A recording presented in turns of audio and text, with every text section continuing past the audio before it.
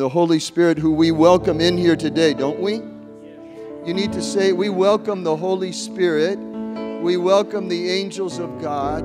We've come to praise the Father in the name of the Lord. We've come to be united with you in a deeper measure than ever before. We've come, Lord, to offer ourselves up as living sacrifices, to bring honor and glory to you, to see the heavens open in LA, to see millions of people saved in our nation and in this city. We praise you for your goodness and grace. Bless the worship team today and everyone in the choir sitting out here. Amen. You're all in the choir.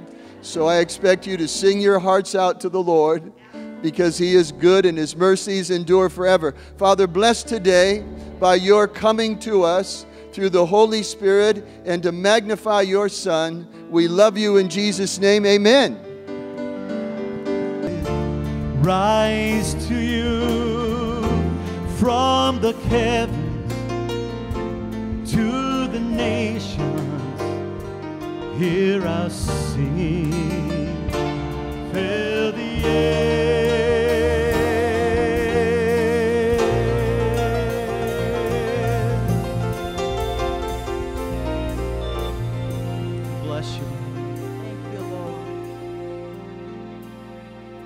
For I want you to know that this is a plan I've always had.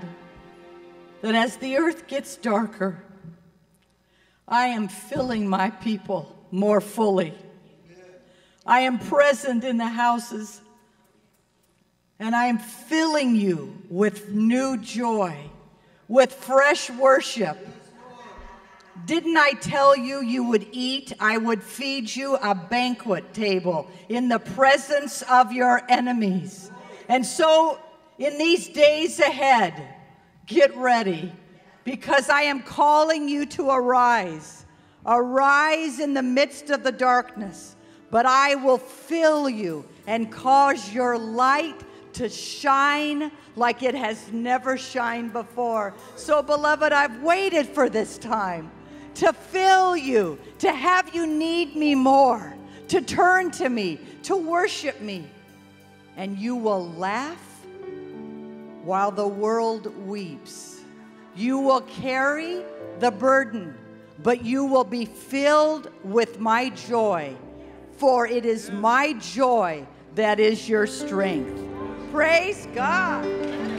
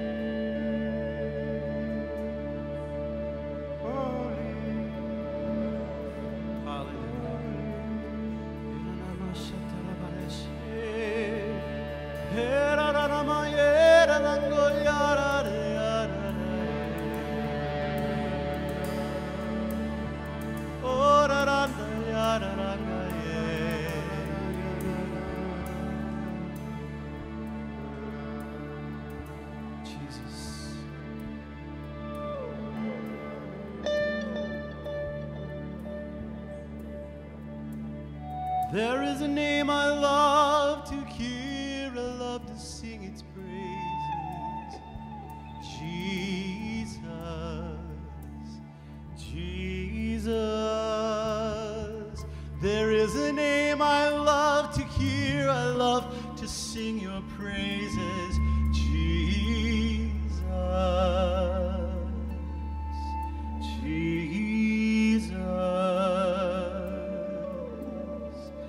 go.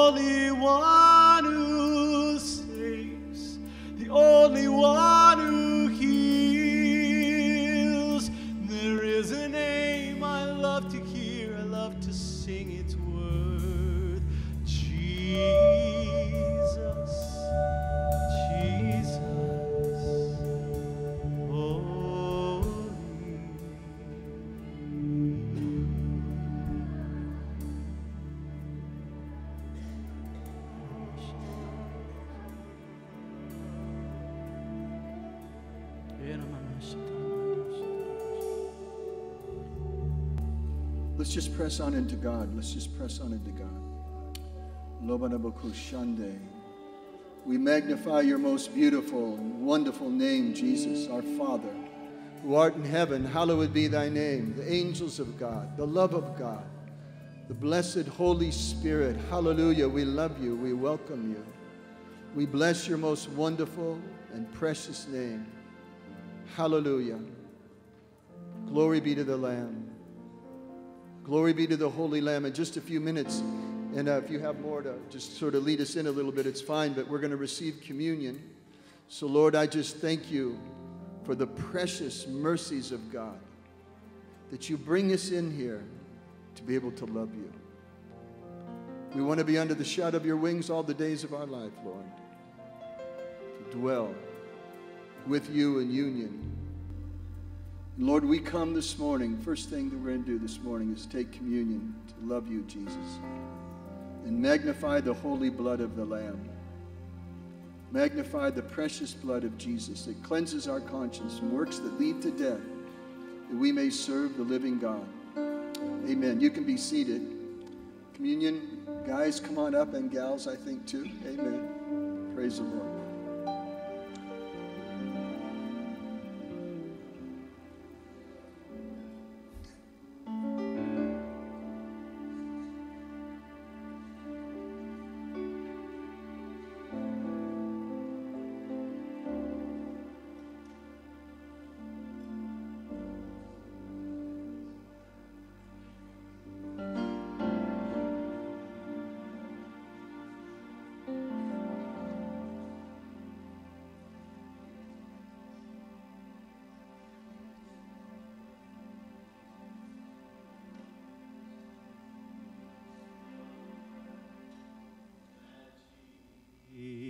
Jesus shed Amen. for me. Glory. Way back on Calvary. Yes. Oh, the blood that gives me strength from day. Hebrews Hebrews 9:14 that's it. Hebrews 9:14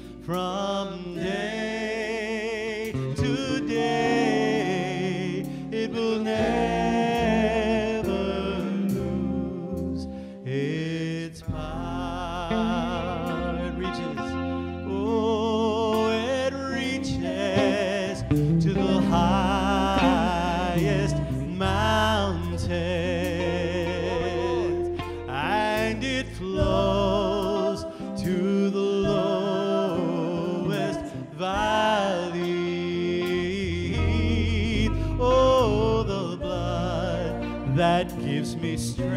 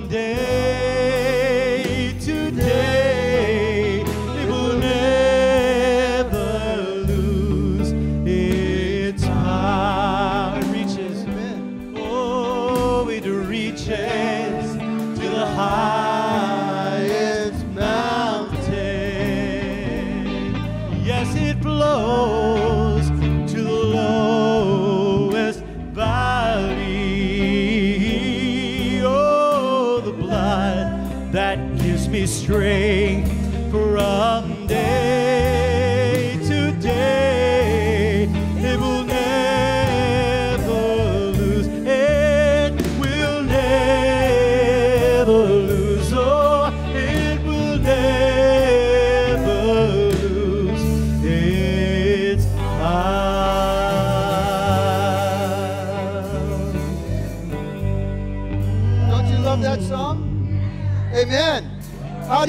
overcome by the blood? It'll never lose its power. That's how you overcome.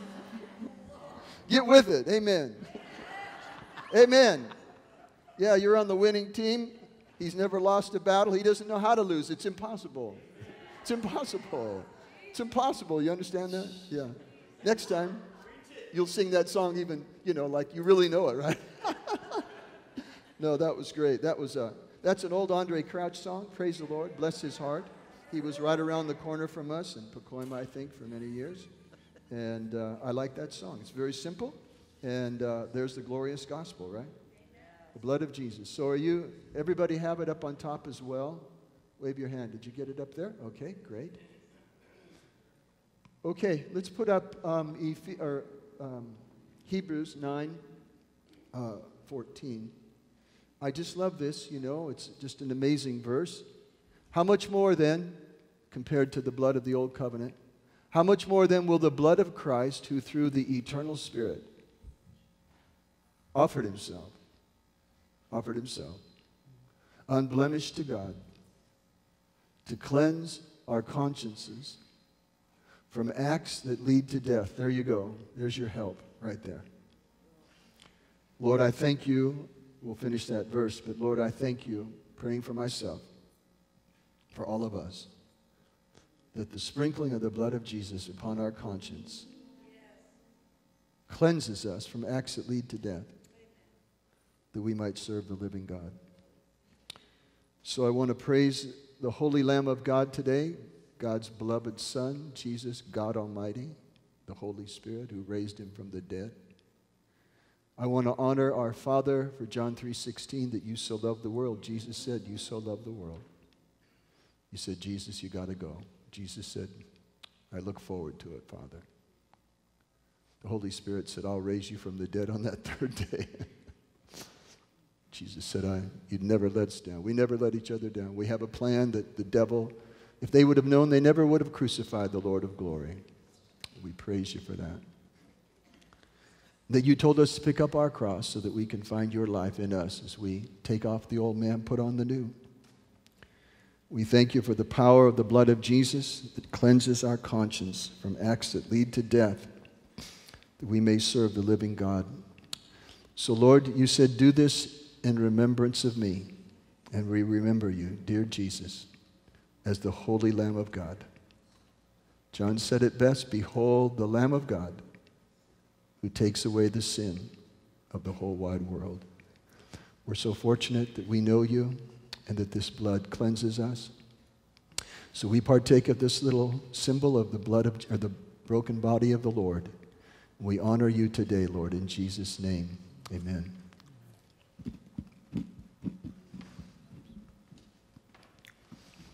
He also said, of course, take, drink this. It's my blood. Unless you drink it, you have no life in you. But we drink it, Lord, and we celebrate your mercy. We celebrate your love. Your mercies are new every morning. Said by Jeremiah, who saw the destruction of the city, he said, His mercies are new every morning. My God, my God. If he can say it under those circumstances, we can say it all day long. Your mercies are new every morning, and here is the blood of Jesus. We receive it by faith in your holy name, Lord. Amen.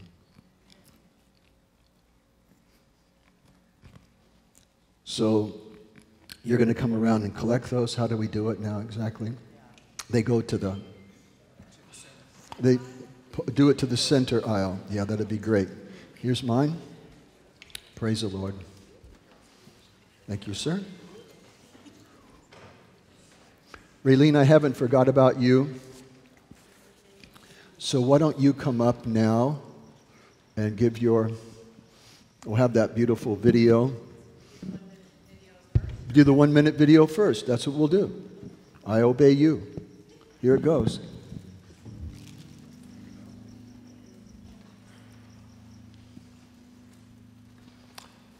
This is for the giving of the children through Samaritan's Purse. We give boxes of toys. We've been doing it for years. And uh, amen. Are you ready to go? Praise the Lord.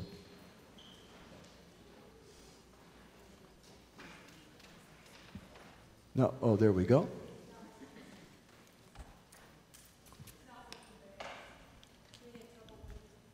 It's not working.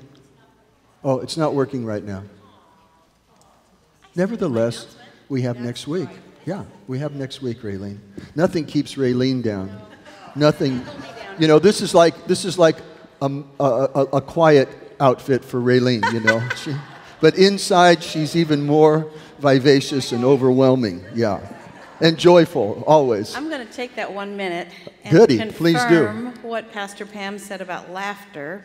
Last night we watched some YouTubes and belly laughed for over an hour. Oh no, no. And I have to tell you, that is God's best medicine. I agree. And that is a Jesus pill. If you're sick or you're depressed, go watch some YouTubes because that is the For example, that is the great physician's um, remedy for illness. It's awesome. They were political YouTubes, so they were really funny to us. my my my. I'm glad you've only got a minute. I won't mention any names. You know, uh, you heard about this guy who was dying. This is like 30 years ago, you know, and uh, he was dying of cancer, and he bought every single Three Stooges movie he could find, and the dude was healed. Amen. Yeah, It totally works. yeah. So we were going to do how to pack a shoebox for those who don't know, uh, but there are instructions on the back of the label that they give you. And I did want to tell everybody to please turn your boxes into the back table. And I've only given out 34 boxes. We have 74 more to go. Amen. And so if you'd like more boxes, that's fine. Um, I'm a little concerned because there's so many churches that are closed this year, and that's their resource in getting these boxes out to people. Wow. So whatever you can do would be awesome. We just need you to sign out how many boxes you're taking. Thank you. You know, I'm just bless God, we're going to get as many as we can, Raylene. I think we ought to go for 200, don't you? Anybody disagree with that? Or at least, I mean, really. You got 108. Well, you're going to have to go back and get some more. That's what I think is going to happen. We're going to work something out here. Yeah. Yeah, just. You're here. Oh, great. Yeah, I am, honey. um, wow. Okay, can we just thank the Lord for that worship set Amen. today and our worship teams? Thank you, Lord. Whoa. Okay, I kept hearing, and it fits with what Raylene said too about laughter. Ooh, gee. I kept Oh, no. hearing, um, what did I hear? Um, I kept hearing. okay. Don't egg her on. Don't egg her on. Um, yeah, it was something about drinking. Oh, yeah. I am increasing your capacity to drink. And it is my Father's good pleasure to give you the kingdom. Oh, boy. And there was another line. Oh. Oh, and drinks are on the house. Oh.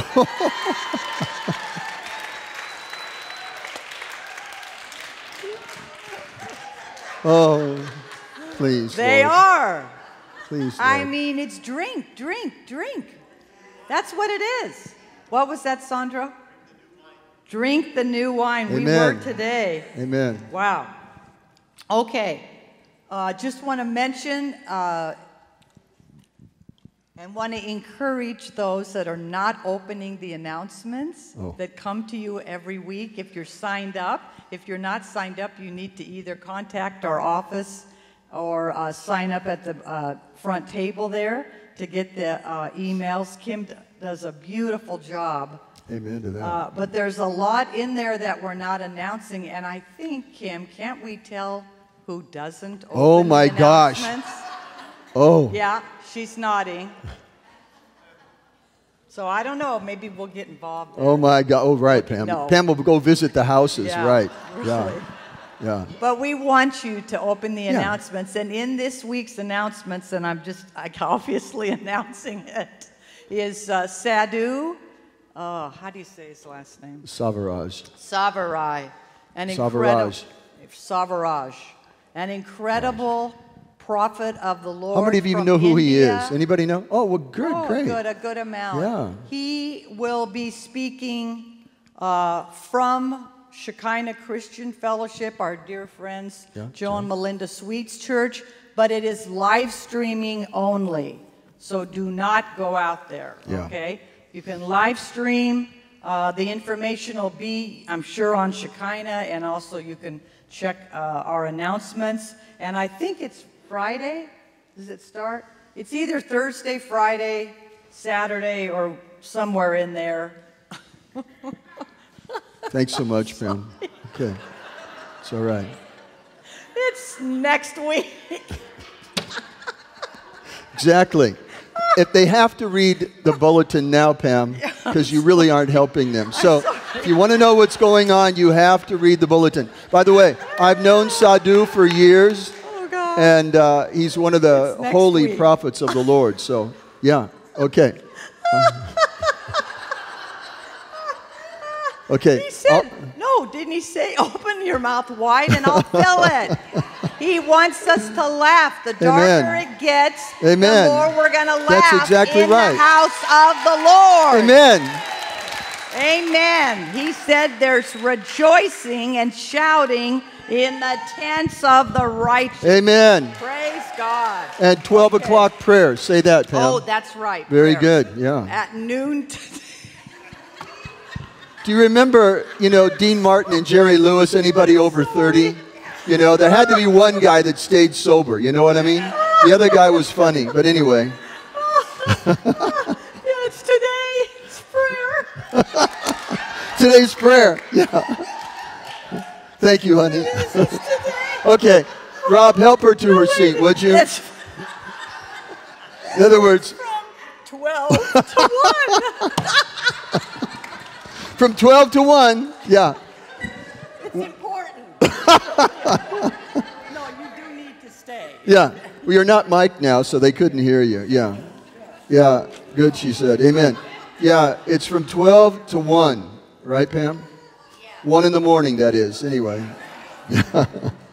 okay, whoops. You knocked over the Kleenex. That's a bad sign, Robert. Means no more tears allowed, you know. Um, okay, I'm going to give you a brief recap cap of last week of my teaching, not Pam's. And. Um, I taught last week on how how to be yeah how to be great. Anybody remember? Anybody even here? Yeah. And uh, what I told you was I only proclaimed what Jesus said. They came to him in Matthew, uh, you don't need to put up all these. I got about eight verses I'm going to go through just by memory, but anyway, it doesn't matter. But in Matthew 15, excuse me, Matthew 18, 1 through 4, they said, Who's the greatest in the kingdom? Jesus got a little boy, little girl, whatever. And then he said, You must behold, in other words, look and see. What was the exact words? Um, Humble yourself as this child.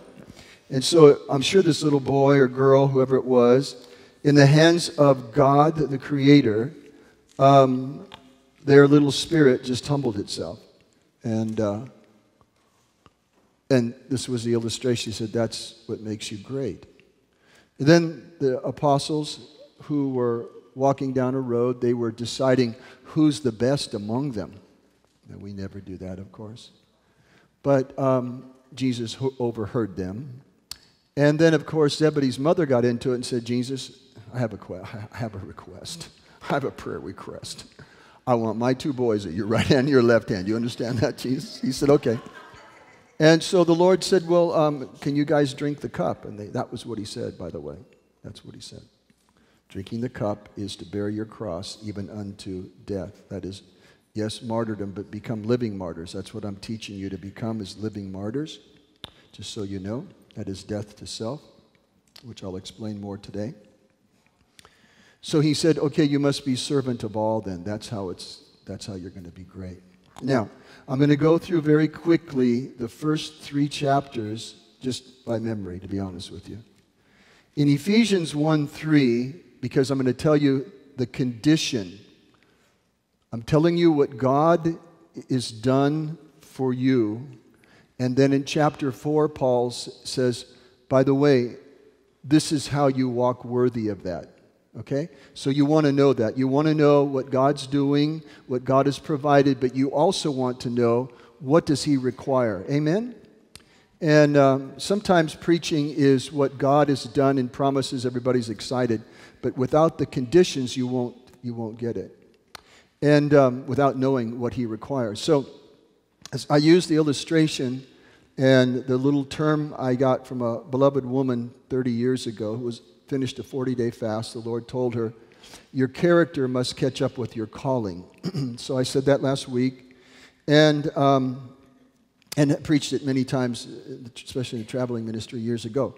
But um, so I used J, uh, uh, David as an illustration, and Joseph, Moses, Abraham, Sarah, many, but especially David and Joseph. Um, all the things that they went through, that was their cross, and then at, at uh, uh, 30 years old, um, their character caught up with their calling enough for them to go through a phase of God using them. Now, David still had character flaws and issues after that.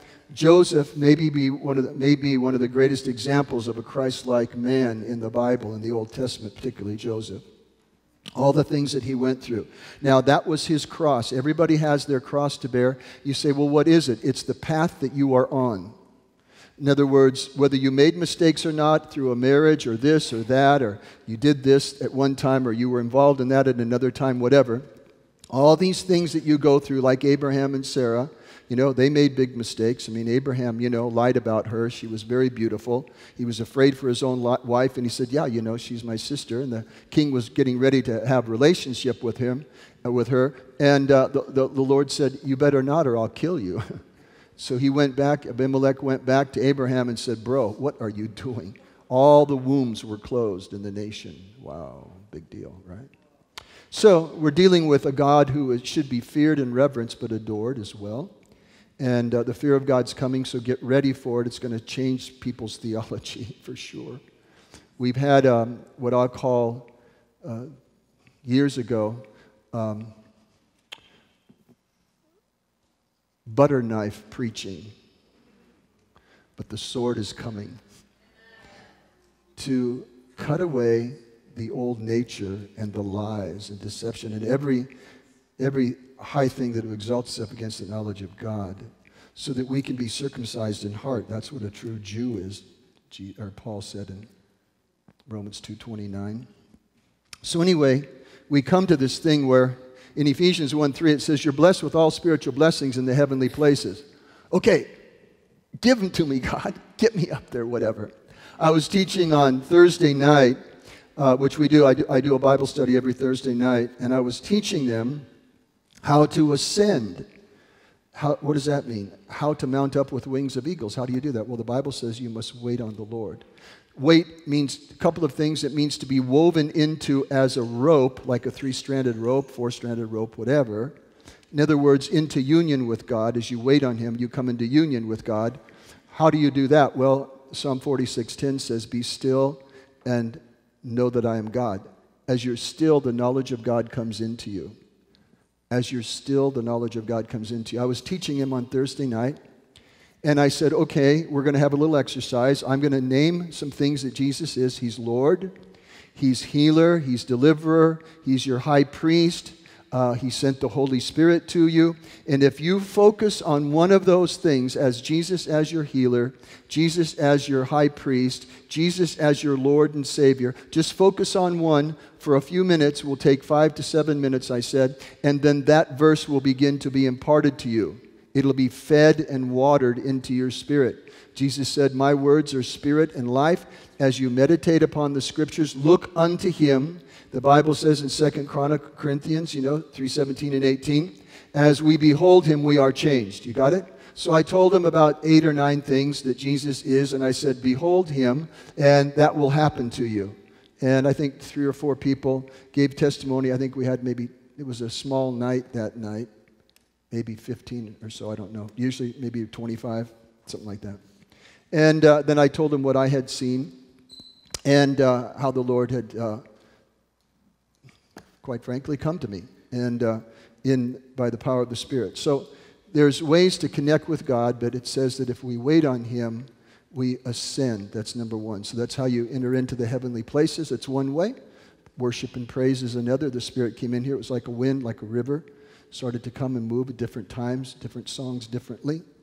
And um, I'm sure that some of you could perceive that. It says also that we have been placed, uh, it says that you've been adopted. You're not adopted, you are placed as a full son and daughter of God with God's sperm and God's DNA inside you. Okay? Something up? Oh, offering? Okay. Did I? I didn't even take it. Okay. All right, here we go.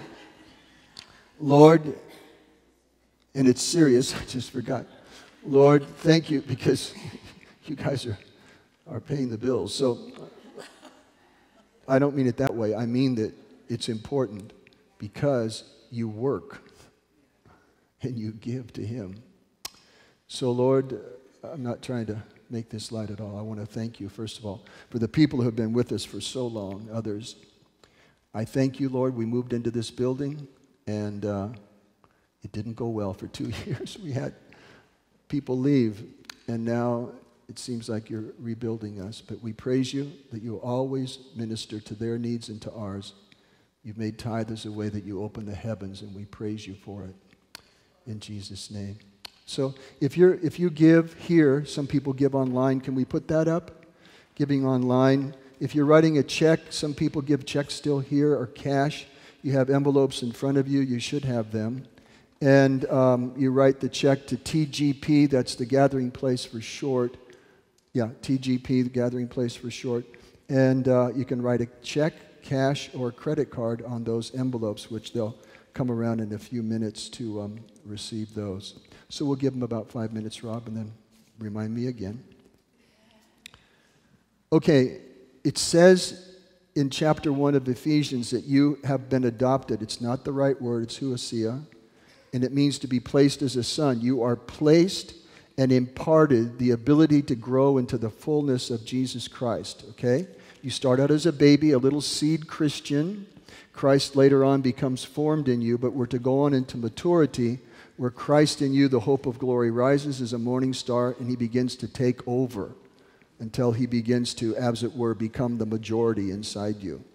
And uh, by the way, I just want to mention this no generation has ever fulfilled these verses. Just want to tell you that. I'm not saying some people didn't. Individuals, men women that are my heroes, I think were as filled with God in their generation as anybody that we know of. but because we're in the last days, Jesus is coming back for a bride without spot and wrinkle, of which some of those people are, are a part of it up in heaven. But he wants a multitude. That's why we're shifting into, at least I have been for years, to teach directly on how to live in God and become like him. That's what we taught last week. That's what I'm teaching this week. So, uh, with that in mind, he said that you are placed as a son so that you can become a full, mature son in Christ. Everything is inside you in seed form. That's the major issue. Then it goes on to say that you're seated with Christ in the heavenly places, right? Ephesians 2 6. Now you're seated there, all right, but to the degree that Christ is formed in you, to that degree you will function there. Just want you to know that. And uh, Colossians 3.10 tells us that, and uh, so does uh, uh, Genesis 1 26 and 27. They were given dominion because they were in the full image. And as we are renewed in the image of Christ, we function in the heavenly places more and more and more. There you go. So I want to um, mention here in chapter 3, oh, it says also in chapter 1, in Paul's prayer, there's two prayers in chapter 1 and chapter 3. And Paul mentions in the first prayer that resurrection power is made available to us. How is resurrection power released in us? as you pick up your cross and die in areas, resurrection comes. The, the death of the natural brings forth this resurgence of the power and the life of Jesus inside you. Paul preaches this perfectly uh, in many places, but um, Ephesians or uh, Philippians 2, 1, uh, starting at verse 3, really, verse 1, 2, and 3 there, go all the way down, shows you how Paul and how we are able to walk with our cross, okay? And that's when resurrection power is released within you. I'm going to just switch and say that in the third chapter, there's uh, some of the greatest unbelievable prayers ever in all of Scripture are in Ephesians 1 and Ephesians 3 through the Apostle Paul, let alone uh, Jesus in um, John 17. We'll go ahead now and receive the offering and those who are making up their offering. That's great. So now we'll go with the condition, and here it is. So he says that in Ephesians chapter 3, he prays that God's Spirit, by His Spirit, you be empowered in your inner man so that Christ can be formed in you. and he goes on to talk about being filled with the fullness of God. That is to have the richest measure of the divine presence to become a people, a body, wholly flooded and filled with God Himself. Then he says in the last verse of chapter 3 Now unto Him who was able to do this, now unto Him who was able to do exceeding abundantly above all that you can ask or think, according to His power that's at work within you, Unto him be glory forever and ever, throughout all generations, and so forth. Amen and amen. So, those are incredible things, right? I mean, wow. Every one of them is amazing. I've, we've taught on all of them, but let's go to Ephesians now 4, chapters one, or verse 1 through 3. this is what Paul says here. Now, he says, I appeal to you as a prisoner of the Lord. Isn't that something? You know, hey, Paul, uh, how come you're not out of jail? uh, hey, Paul, you know, people rejected you, whatever. But he says, as a prisoner for the Lord, then, I urge you to live a life worthy of the calling you have received. That calling was in chapter 1, 2, and 3, let alone other places in the Bible, of course. So he says, you have to live worthy of that. This is really, really, really important. You know, I'm in the process of writing something I'll later on publish, but I have, I think it's 40 ingredients in Scripture.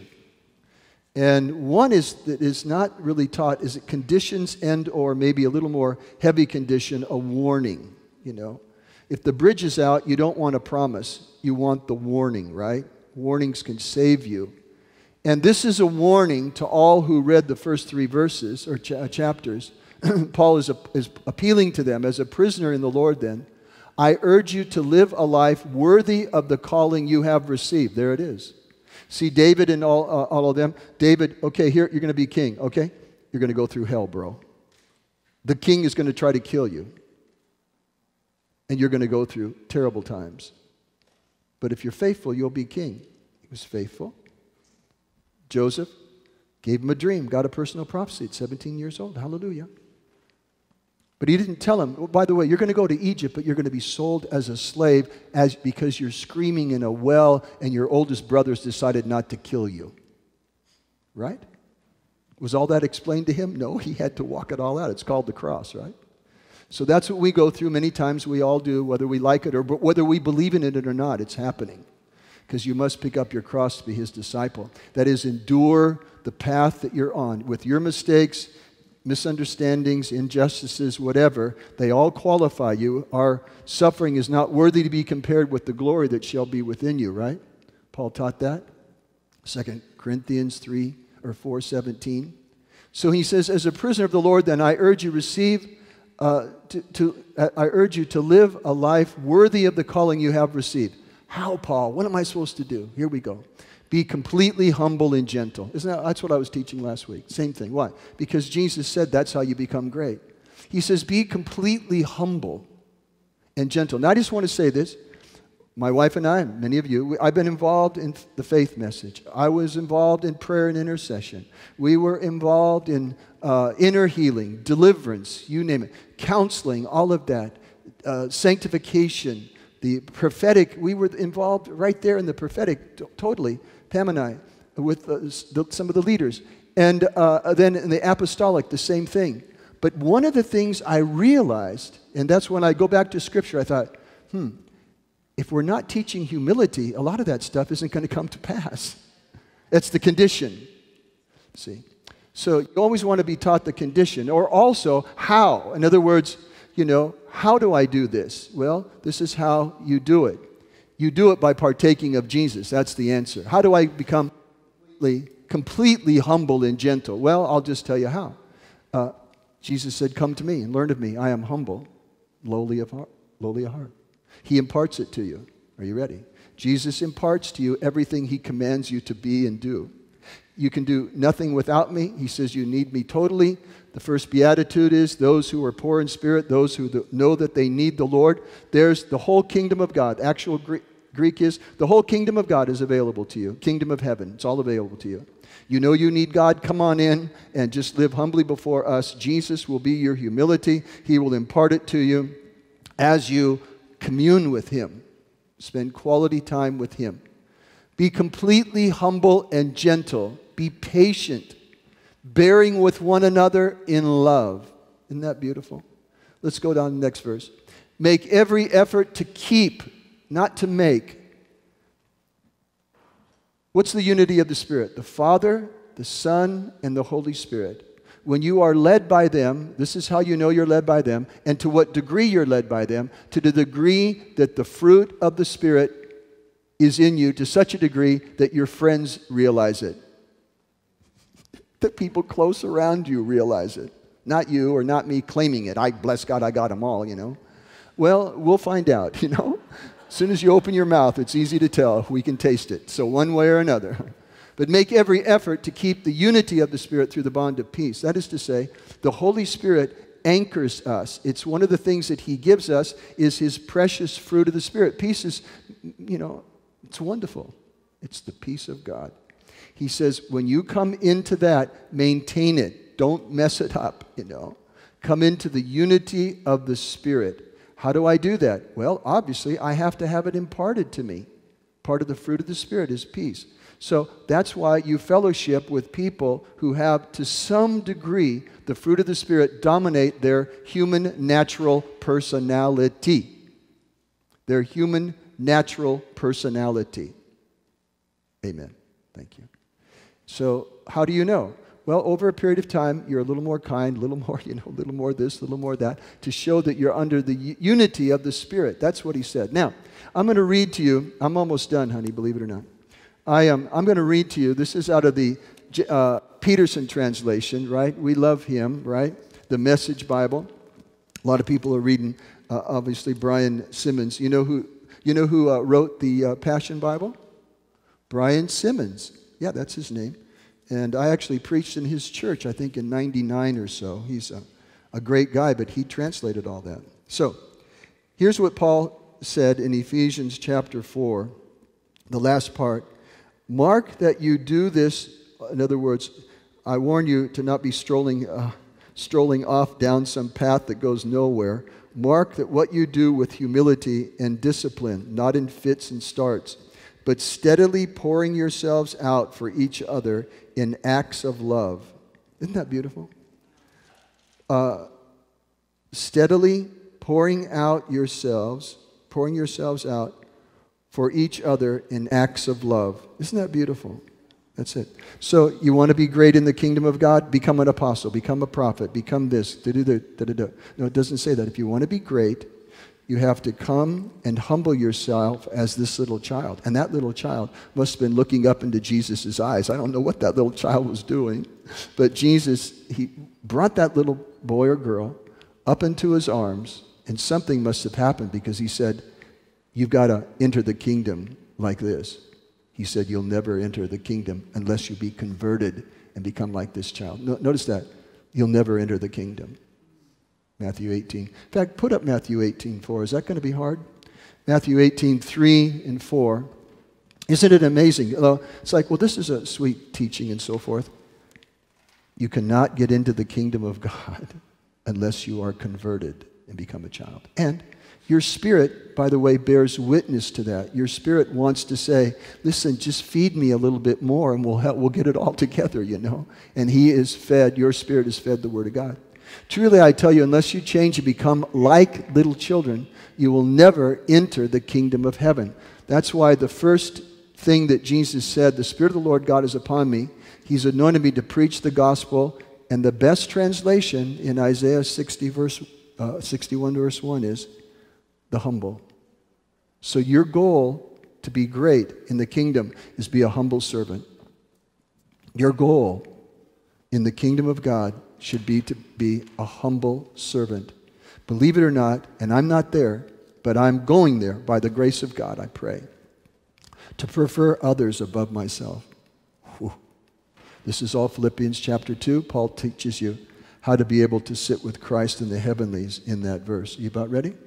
So I will just pray over you and I'll say that we'll teach more on these things, but if you, James 1:21, we can put that up. How are you going to do this? This is where you start. This is the starting line. James 1:21 is the starting line. Therefore get rid of all moral filth and the evil that is so prevalent and humbly what? Here's, here's what I'm telling you. This is where you start.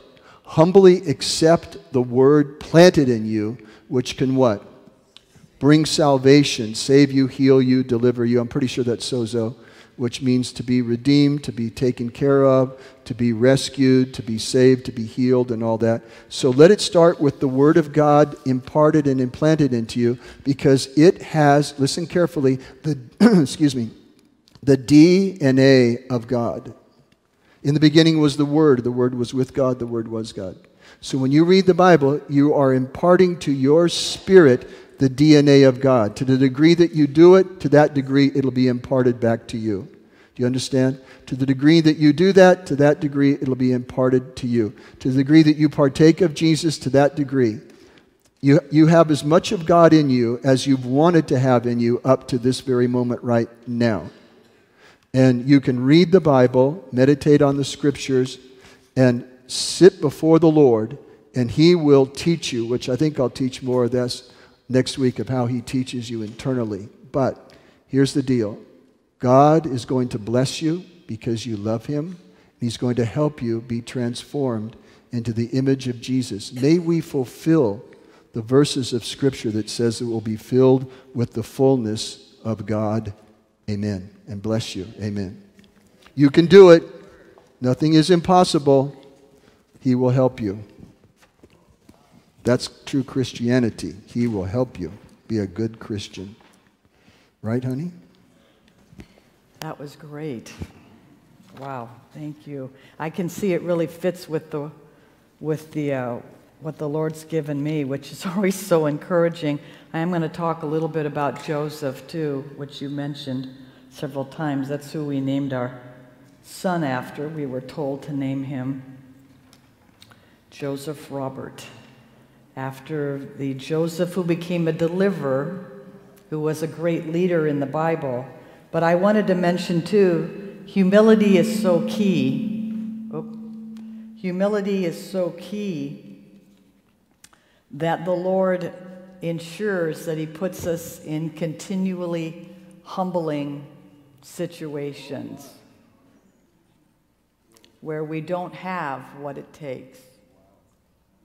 Like right now, every time I stand up, I am acutely aware that I do not have what it takes because you don't want what I have.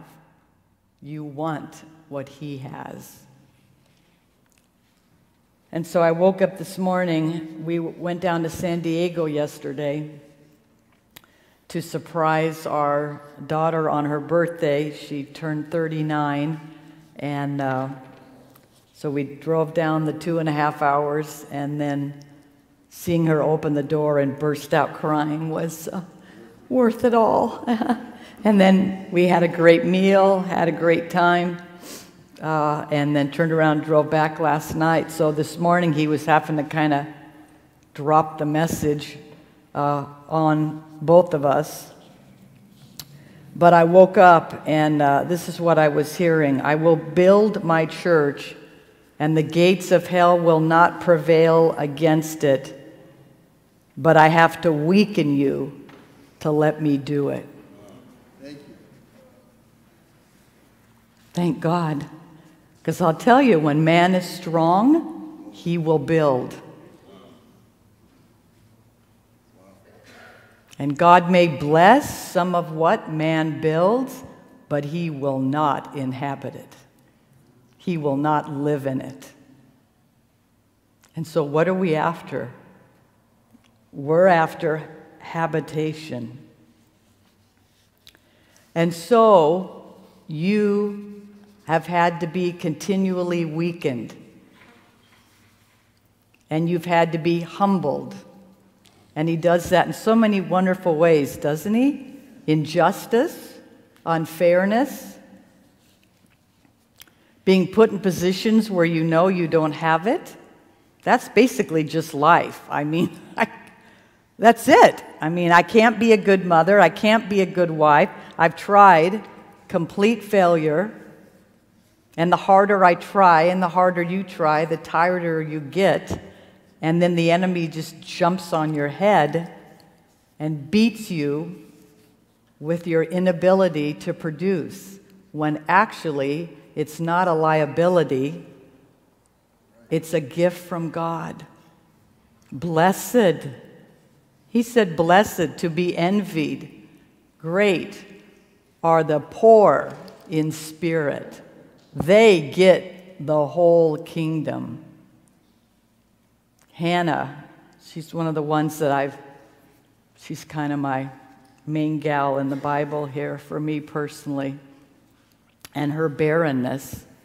Hannah, after she had Samuel and she gave him, I don't know how she did it, the Bible is so understated. She, anyway, unbelievable that she would then turn, she promised this child to the Lord. And she gave him Samuel, took a little boy that she had weaned, and took him to the temple to a priest who was being judged, wasn't even a good teacher anymore, and left him. I think that's the holy thing. When you are weakened, you're going to take your hands off what is the Lord's.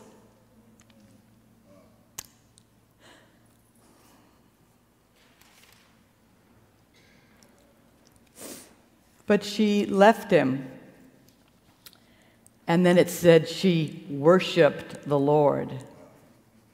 And she said, uh, My mouth has been enlarged against my enemies, and I will boast in the Lord. And then she said something so amazing. She's, the whole thing's amazing, but this verse, she said, um, The bows of the warriors are broken, but those who stumble, who stumbled, are armed with strength. The bows of the strong are broken. The Lord broke, breaks them. Because he does not need our strength. And then she goes on to say, It is not by strength that one prevails. See, it's upside down in the world. This is a key verse. Uh, if you want to put it up, Betsy, Luke 16 15. I've referred to it many times because it's constantly a shock. This is Jesus speaking.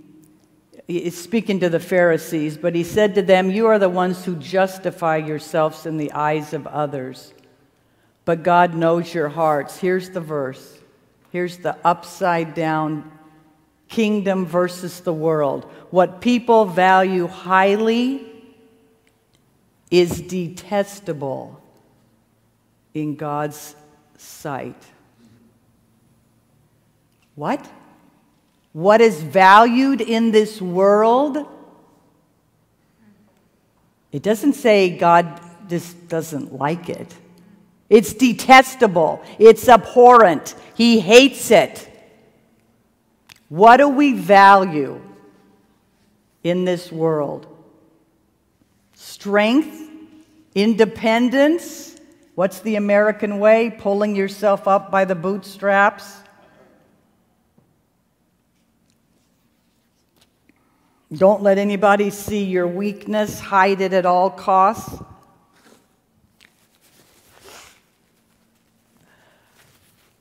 And it's completely flipped in the kingdom. So, what we find detestable, God highly values.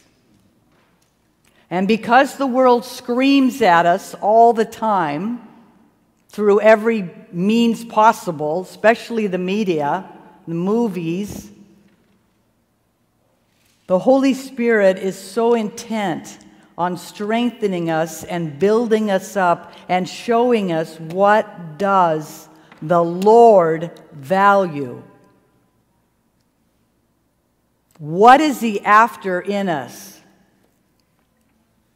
Because it says, you know, Isaiah 55, his ways are not our ways, his thoughts, my thoughts are not your thoughts. They're, they're just a little bit apart. They're kind of like yours. No, they're not. It says, as far as the heavens are from the earth. Is that a big gap? That's how far your thoughts are from my thoughts, and my ways are from your ways. So we have to have his ways revealed to us out of this word by the Holy Spirit. By Holy Spirit, I should say. He has to reveal to us the ways of God. Right? Otherwise, I mean, and believe me, I've been there, I'm still there. We're going to constantly learn, but here we are freaking out over what's going on and what's happening in my life. And he would repeatedly, the main thing he did, Rick would say the same thing, is he would say, Go to Joseph, go to Moses, go to Hannah because your life is not going to make sense judged by the world or in the world. Your life makes sense in here. Only in here. This is the pattern. Jesus is the pattern.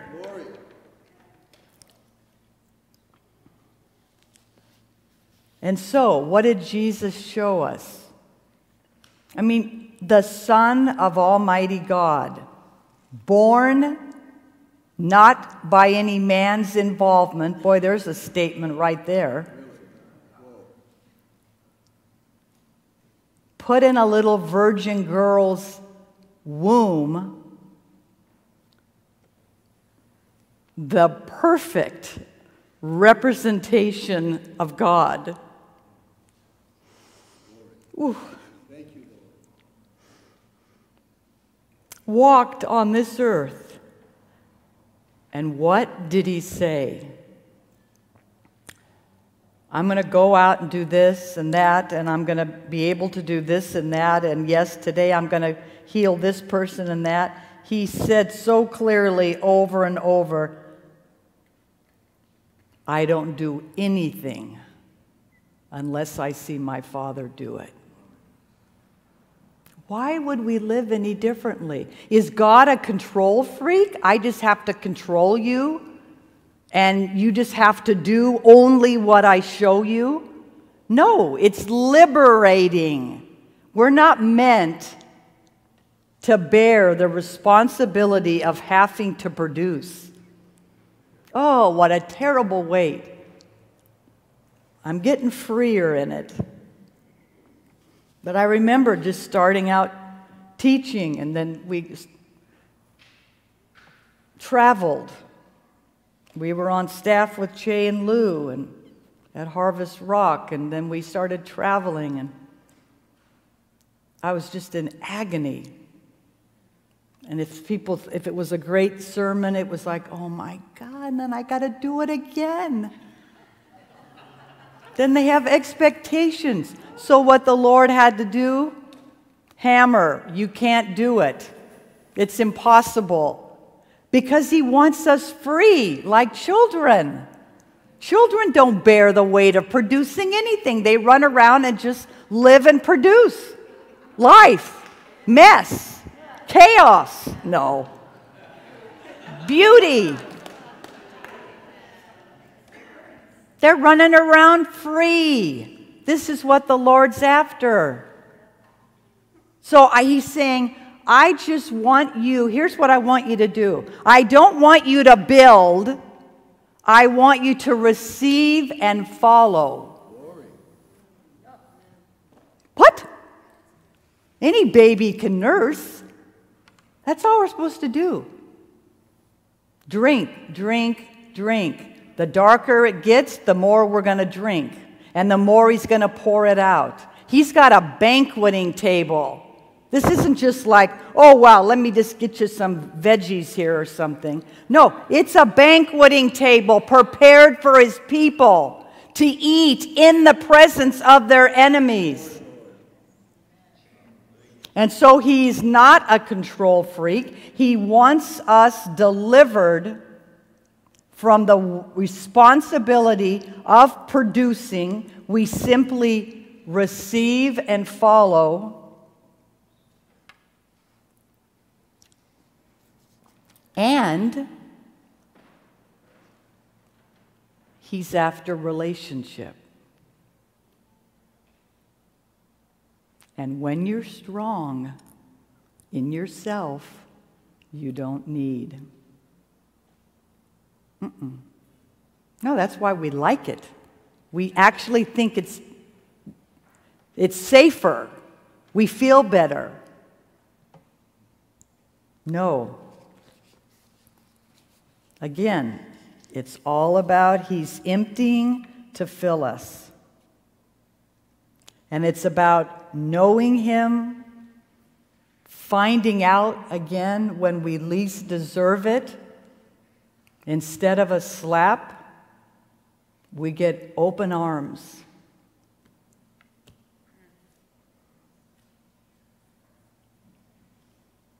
And he is so intent on teaching this. Went through some different times with our kids. And uh,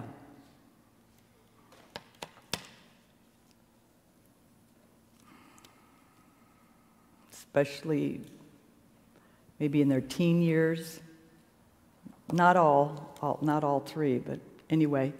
And he kept saying to me, Pam, love, love, it never fails. It never fails.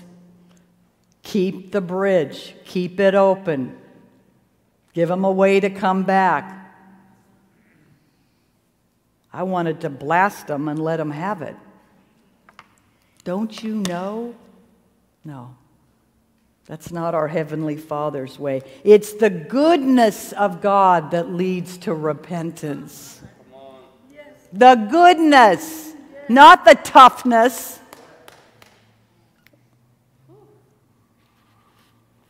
He loves you. He knows you're weak. He made you that way. You're a clay vessel, the Bible says. He picked up mud. Mud. When he formed Adam, he could have, hey, come on, he wasn't left with mud. He makes the whole earth, it's beautiful, and then, oh, wow, I only have mud left. Just have to use mud here for man, who's made in my image.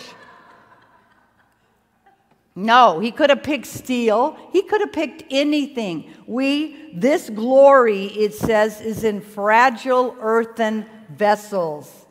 Glory to God. I am fragile. You are fragile. Let's rejoice in it. Paul says, I boasted, I boast in my weakness. Because then the power of God is able to be displayed in its fullness. What? I thought I had to just listen to all the CDs and get it all down and get it straight and feel strong and feel powerful. No. Again, it's the exact opposite. Yeah, we listen to CDs, we need to learn, but you got to get in this. I'm talking to myself. I'm really having, man, I'll tell you, the Lord knows, the, uh, excuse me, the enemy knows. The key is reading the word and being, having alone time with the Lord. You do not get intimate with somebody on the run. Hey, how are you doing? Oh, I'm doing great. Yeah. Okay. Yeah. Okay. Uh, okay. Now I'm going to do the dishes. I'm going to do this. Oh, yeah. Wow. We're really getting close. I can tell we're getting close. Forget it. I get, I get mad at Rick still, 45 years of marriage. Are you listening to me? Put your phone down. Because he's texting you guys back. No, just kidding.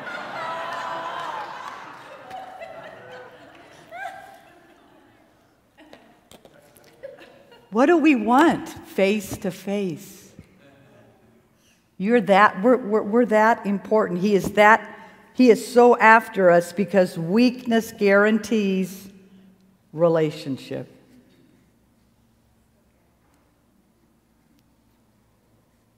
Okay.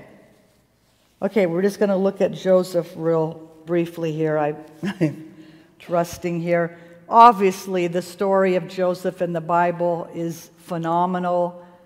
I was just rereading it this morning, trying to reread it. I, we brought home this stray, or I brought home this stray from little kitten from uh, this our farmhouse that we go to, our funky farmhouse in uh, Utah, and the oh my gosh, the kitten was biting the Bible, jumping on the on my lap, and then she starts purring, but she's so excited that if you move quick, I mean, ouch, right on my hand. I've got little claw marks all, but she's doing better.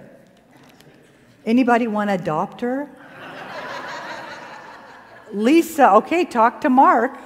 Even though you're highly allergic to cats, my sister in law here. Just what you need, right, Mark? Okay, uh, let's just go to Psalm, uh, Psalm 105. Okay, how, okay, we're in a time of transition. I was just trying to review. We're in a time of transition. Talked about it last week. It's a time where we feel our vulnerability because we're having to leave what is comfortable and at least familiar and step into what is unknown and we don't know. So, transition is a real time of uh, vulnerability. It, it's usually forced on us by change. That's what COVID did uh, for us. It forced a lot of change, Zoom meetings, and, you know, all these other things, and then you wonderful, some of you wonderful people. Well, you're all wonderful people, but you st- some of you are new, coming. We're kind of blown away uh, by it. Uh, I thought Marnie said it so well that the, the um, ones we, it's, she said, uh, it's so amazing because the people that the Lord is bringing, we're all burning at the same spiritual temperature. Ooh, wow. Combustion is coming. It's happening. Come on. Woo. Wow. Okay. What did I say? Psalm 105? What? Oh, sorry. 16. I'm sorry. See, that's why nobody wants to really do the computer because they'd have to try to follow me. No, but we need, we, anyone who would like to do the computer, we, we do need help with that. So you can see Betsy right after the service. Be incredible. And nobody will blame you when I'm up here. Okay, uh, I want to talk about Joseph. Okay, this is uh, so amazing. I want to read it out of mine too. Um, okay, this is uh, talking about the Lord. He called down famine on the land, okay, and destroyed all their supplies of food. This, this is the Lord talking here. I sent famine But he had a plan. He sent a man before them, before any of this happened. He had a plan, and he sent a man before them. Who was the man? Joseph. But how did he get there? Sold as a slave. What? Excuse me. Okay, the ne- next verse thanks. They bruised Joseph's feet with shackles, his neck was put in irons, till what he, forbid, what he foretold came to pass, till the word of the Lord proved him true. And I love another translation, I think it's King James, till the word of the Lord entered his soul like iron. Okay, I'm just assuming that you guys know the story of Joseph. Okay, young, young, he was uh, from a dysfunctional family. His brothers hated him, and it says could not speak a kind word to him because it says, number one, he, bought, he brought a bad report to his father about them. Oops. And we got some dysfunction here. The father openly prefers him over the other brothers. Ooh. And he prefers him so much that he gets him a beautiful ornamental robe, which he wore every day. Would that bug you? That would really. And then, to make matters worse, he has two dreams from the Lord that totally came to pass, but either he was, and I don't presume to know, honestly. I don't know Joseph at 17, but he's 17. Okay? So he either was incredibly oblivious to his brother's hatred, because it says they couldn't even speak a kind word to him, or he just had some pride issues here because he tells them bo- both dreams. And the dreams were tremendous. My sheaf stood up straight, and your sheaves of grain bowed down to me. Oh, whoopee.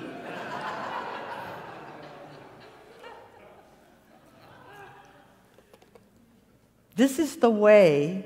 So then they had it. And then the dad, Jacob. It's like, where were you, Jacob? Because uh, weren't there like 10 brothers? 11 brothers, yeah. Okay, and so anyway, they. Um, uh, Jacob sent Joseph out to go check on his brothers. Wow, bad call. Just go see how they're doing, Joseph. So, anyway, you know the story. They saw Joseph a long way off and began to plot his death. Some of the brothers, Reuben, intervened. They didn't kill him like they had planned to, they threw him in a cistern.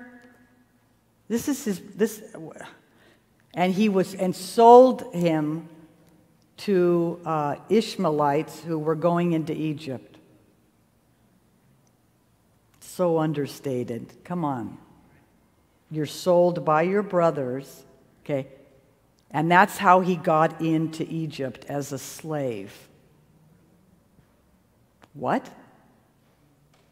Would anyone have looked at a sobbing, because it says later on the story, the brother said we didn't pay any attention when he was pleading for his life and crying. He's crying and sobbing. He's being led away in chains and shackles with these total strangers to be led into Egypt. Would anyone have looked at him and said, That's the next deliverer who's only going to be second to Pharaoh? This kid crying and screaming, 17 years old, rejected by his family. This kid, would anyone have said, is chosen by God? Your life, our life, has been the same way. See, we've got to realize what he's after. It's unconventional training methods. I mean, wouldn't you have done, okay, me, okay, jo- Joseph is going to lead Egypt when he's 30. He spent 13 years as a slave. Three, at least three of those we know in prison. God. And who was with him in prison, does it say? God. So everything you've been through, God, Jesus, Holy Spirit, has been with you. And it says in prison, God showed him kindness. I think he's going to make it more and more apparent to us and help us see how kind he has been to us in our prisons. That's the only way we've gotten through. He, it just gets me. He was with Joseph in prison.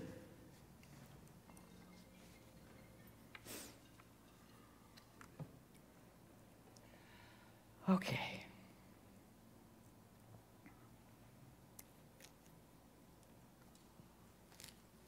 So then Joseph, you know, he even, the way he even got, and we're skipping that, I can't do the whole thing, but Potiphar's wife, Joseph's good looking. The Bible says he's well built. Potiphar's wife, we know, wants him.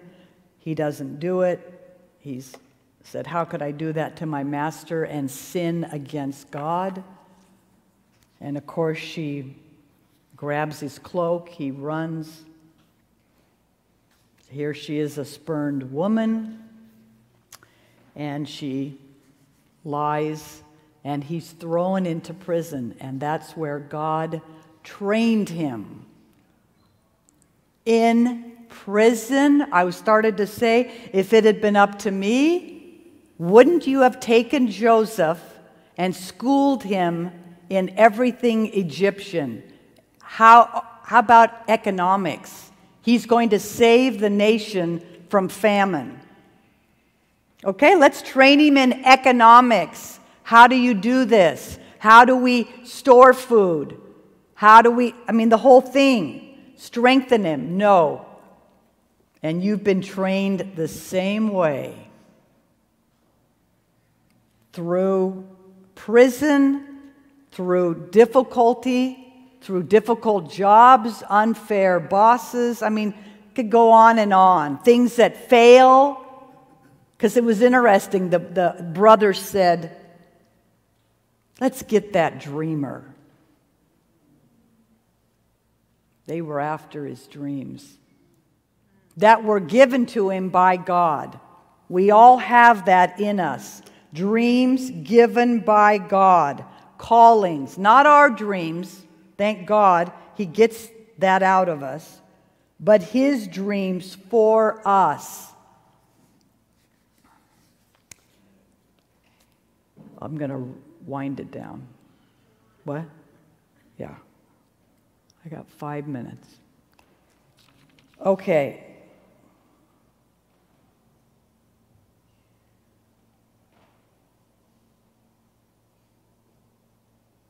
Let me just look here. This is what happens when you get the message in the morning and you don't have time to go through it. Um, okay, we know the story, and I alluded to it last week, but after two full years, Pharaoh had a dream. And in one day, the cupbearer, see, Joseph tried to get out. He told the cupbearer, hey, when you get out, because I interpreted your dream, remember me, because I, do, I, I'm innocent. I shouldn't be here and get me out. Tell Pharaoh about me. what does it say? It's so understated. It says, The chief cupbearer, however, did not remember Joseph, he forgot him. But who hadn't forgotten him? The Lord, just at his time. So it says, two full, I love it, full years went by. Pharaoh has a dream. Here it comes. The Lord's orchestrating it all. Pharaoh had a dream. Nobody could interpret it. And the cupbearer, ding, and he says, Then the chief cupbearer said to Pharaoh, Today I am reminded of my shortcomings. Two years later,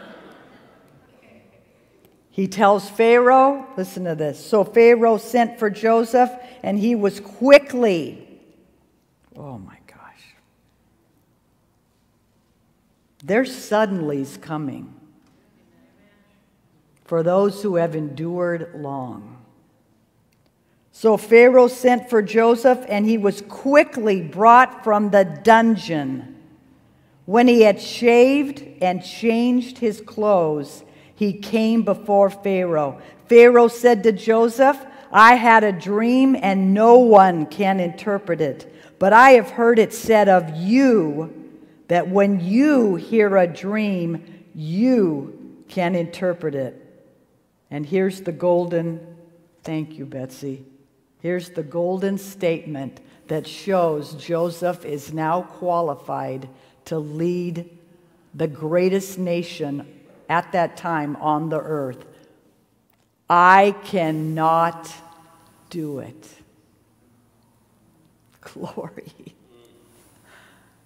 Joseph replied to Pharaoh, But God will give Pharaoh the answer he desires.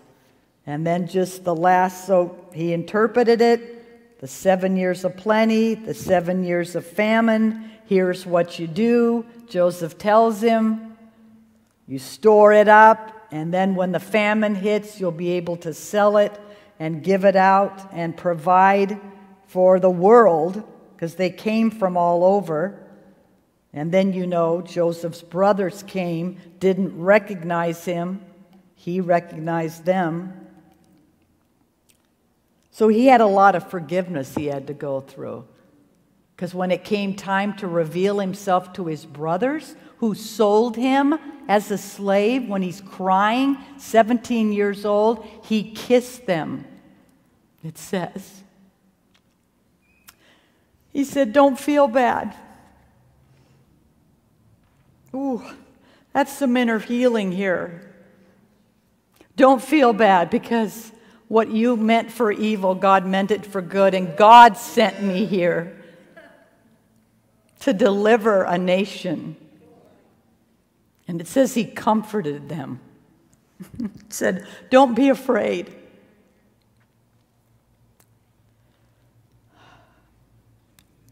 And so Pharaoh said, God, uh, Joseph gives the big plan. And verse, uh, Betsy, I might as well give you a verse, uh, 37. Uh, sorry, yeah, of what? Right. Genesis 41. Come on, you know. Figure it out.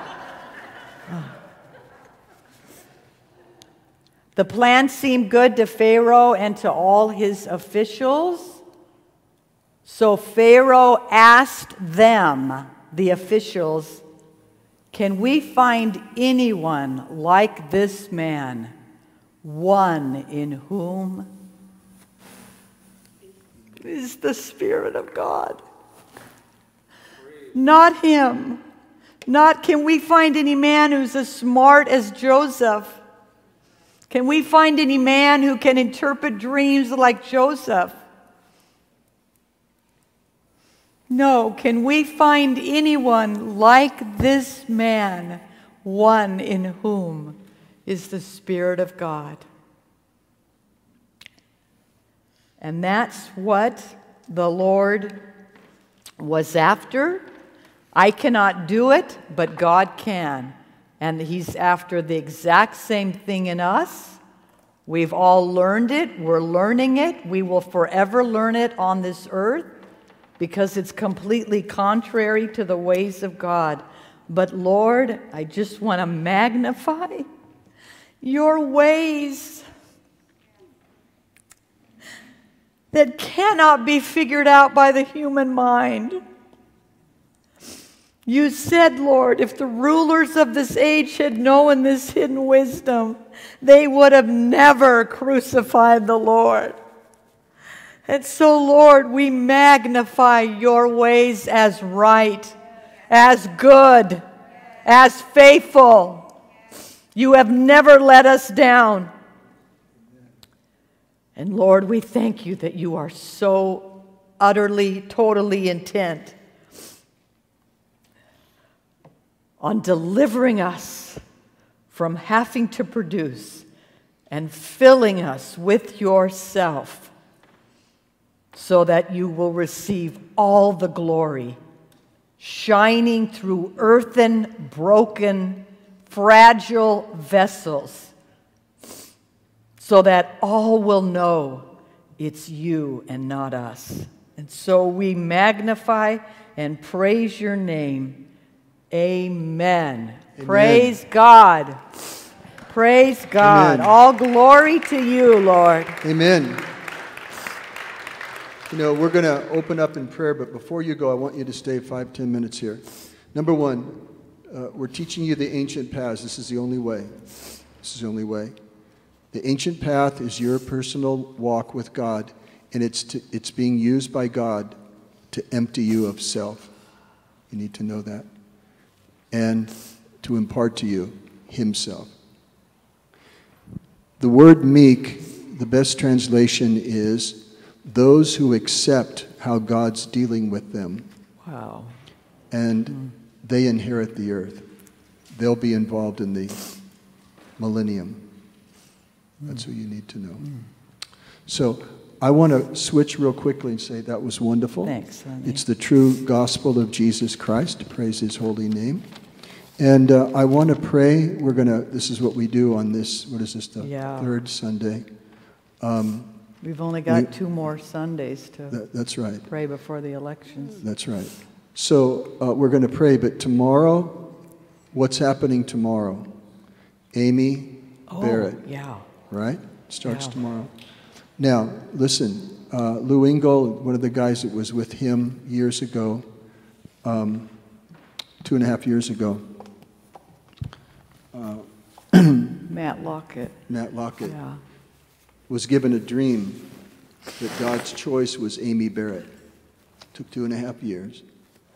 And so we're going to pray for that dear sister. She's a Holy Ghost, Spirit filled, charismatic Catholic.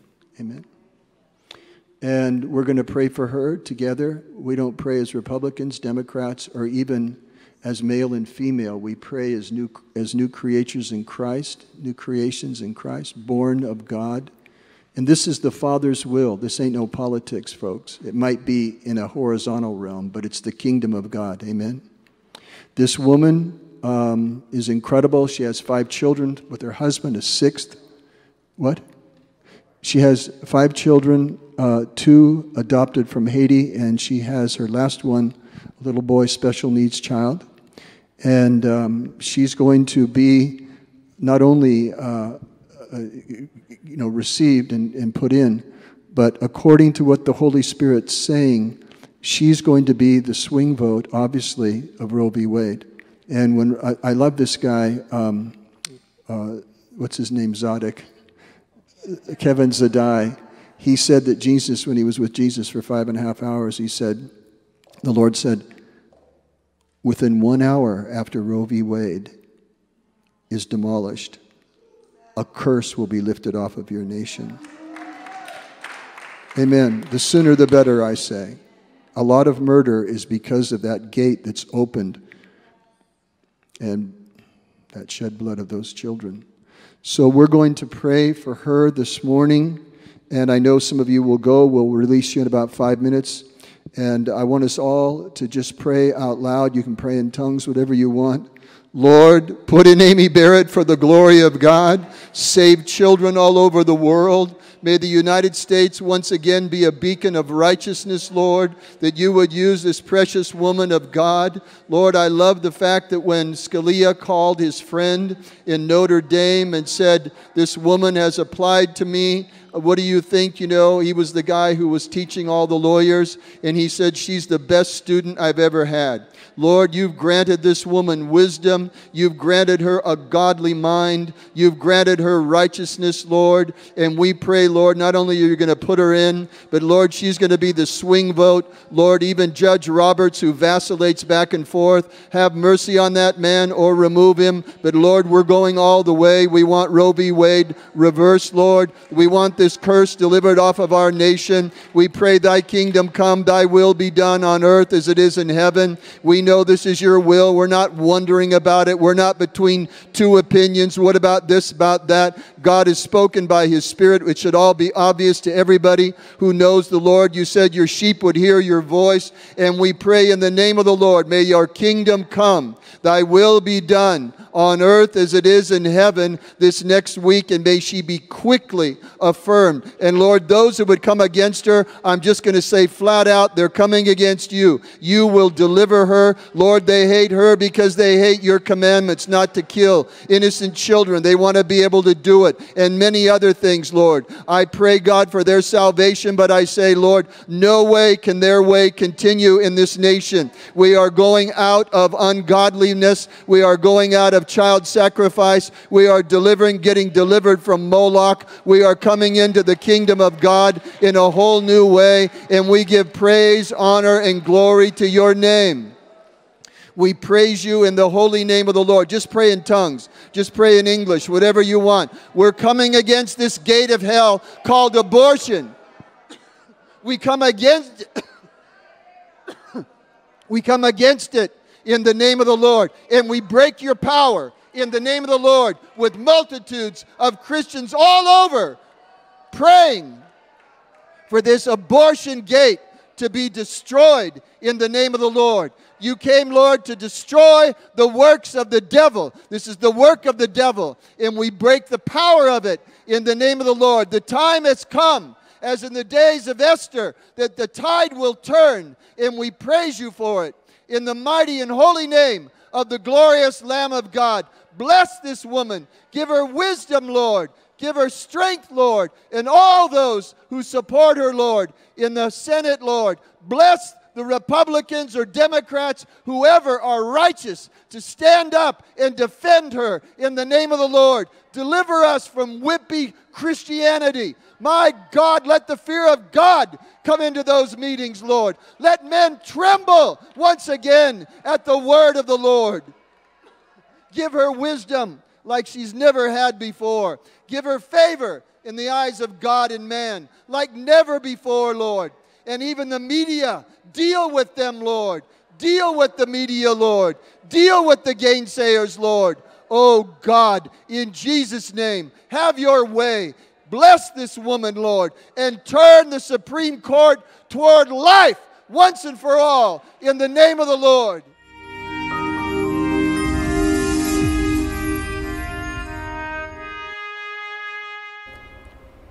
The Gathering Place.